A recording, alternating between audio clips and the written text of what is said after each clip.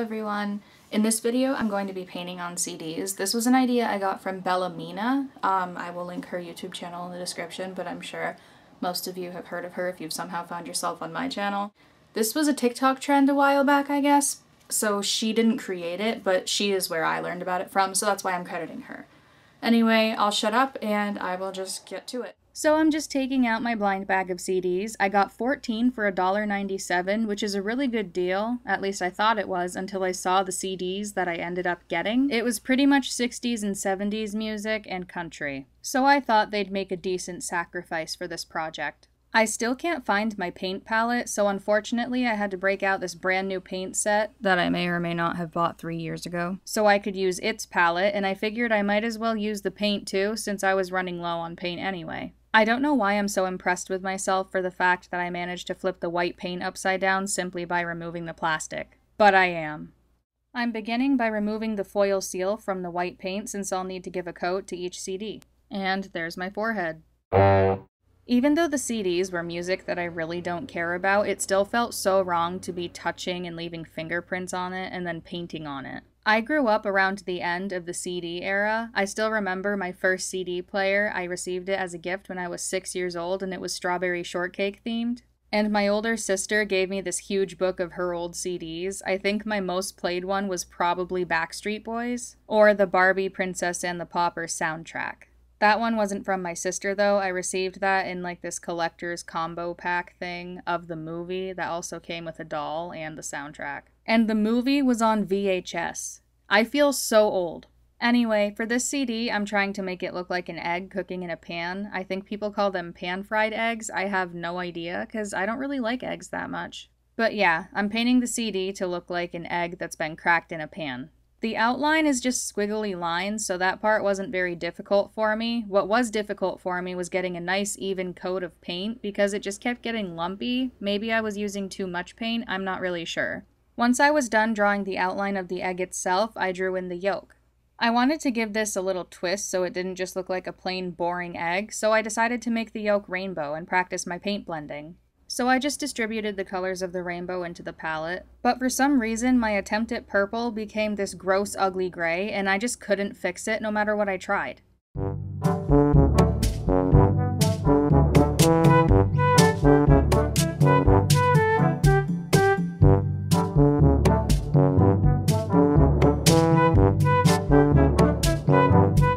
And then I realized I already had purple paint. Once I started painting the yolk rainbow, I already started having trouble with blending when I got to orange. I thought I would just try and have faith in the process, but that didn't go very well, especially when I got to green. I somehow managed to ignore this urine vomit color and move on to blue and purple, which also didn't go very smoothly. I touched up the mixing and blending as best I could and moved on to painting the background black so you could really see the shape of the egg itself. I'm gonna be honest, I think this idea looked a lot better in my head than it did in reality.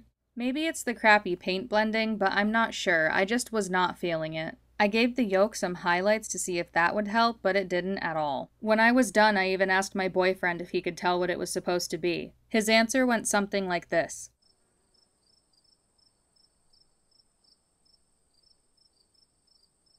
Nope. Since this ended up being a fail, I more or less started over, but I kept a similar idea in mind. I was still going to make an egg, but I wasn't going to make a rainbow yolk, and I wasn't going to make just an egg. I wanted it to look like an egg in a pan, so if you were looking down at the CD, it almost looked like an egg frying in a pan. So I painted the very edge of the CD a dark gray, and then I painted the inside a lighter gray. I thought that would help put emphasis on the top-down view perspective. Once I had the pan all painted, I moved on to the egg and made it much bigger since it was way too small in proportion to the pan. Next I mixed up the color for the yolk. I used a lighter yellow color and then I also mixed it with a darker goldish yellow. This time I decided to place the yolk in the middle of the CD where the hole is. I thought it would just look a little better. Then I added a highlight onto the yolk and it was done. I was pretty bummed that the rainbow yolk egg didn't work out, but I think that this still turned out pretty cool. For my next CD, I started out the same way. I gave it a coat of white, but this time white was going to be the primary color of the design I was going to make. Also, I apologize for the intense light change as well as my messy mat. I know that's probably very distracting. I guess I'm just not a tidy painter. For this CD, I decided that I wanted to try and turn it into an eyeball. In my previous video, I said that if I could have any eye color, I would want it purple, so I decided to make the iris purple. I am very inexperienced when it comes to drawing eyes or painting eyes, so I just used a photograph of an eye as a reference, and I'm not sure how well it turned out. I think eyes might be one of those things that are actually really simple, but if you overthink it, it becomes way too complicated. Kinda like galaxy painting, which I am very proud to say I managed not to do in this video. I was extremely tempted to just do a random galaxy patterned CD, but I wanted to try and stick with things that were round so it would look better. When I was looking closely at the photograph of the eye, I noticed that the iris at the very center, just around the pupil, had a slight green tint around it, so I tried to do that, but it popped way too much and didn't look right, so I toned it down by covering it with a lighter shade of purple. Then I added in the random white line slash highlights. I'm not really sure if they're highlights or just a naturally occurring part of the eye, but whatever they are, I added those in. I never really realized how deep eyes are. That probably sounds strange and like I'm trying to be poetic, but it's just so interesting. The longer you look into them, the more details you find. Anyway, I added a black ring around the iris because there is a very faint and almost blurry black ring around irises and eyeballs, which is another thing I never really realized until doing this. I tried to make it as subtle as I could so it would look more natural and less cartoony, and I think it was a nice touch. Finally, I added on some veins. I know this is probably a more creepy and not very appealing part of it, but eyeballs have veins. What do you want from me? I'm a little worried that I made the veins too uniform, but otherwise, I think this looks really cool, and I think it was a much better success than the egg idea. Hopefully you can tell what it's supposed to be. I think it's pretty obvious, but I don't know if I did a good job really capturing what an eye looks like. Regardless, I still think this was a really cool idea, and I'm pretty happy with how it turned out. The next design I'm doing on the back of the eyeball CD, and I'm going to make a donut. I know it's basic, but I was running out of ideas. I took two of these tan paint colors and squeezed them both out onto the palette, and one of them was really gross and watery, so I decided to go with the not gross and watery one. So I'm just painting around the edge what would be the crust part of the donut and leaving the rest of the surface white so I can paint on the frosting. I went with pink for the frosting. Again, I know it's basic, but I think that strawberry frosted donuts are just the best looking ones. Once I finished painting the surface, I went around the edge and added some drip effect just so it didn't look so neat and looked more like frosting. After that, I just painted the center ring of the donut the same color as the crust, and lastly, I added some sprinkles onto it. This one was pretty boring and uneventful. It's definitely not my favorite, but I think it looks okay, and it definitely looks like a donut, which is what I was going for, so I guess that's good. And for the last design, I'm doing it on the back of the egg CD. I am making a pancake. I was originally going to do that instead of the donut, but I thought it would make more sense to put the pancake on the back of the egg design.